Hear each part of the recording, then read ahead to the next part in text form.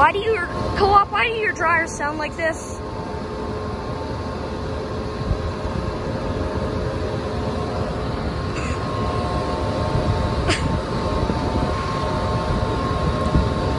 this is an example of no maintenance. What are those dryers? Like, come on. Those are the worst dryers I've ever heard. When it comes to the sound they make, absolutely disgusting. Like, why? Why do you make that sound?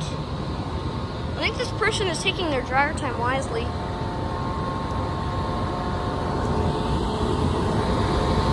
Just why? Why would you make your dryer sound like that? It's an example of not a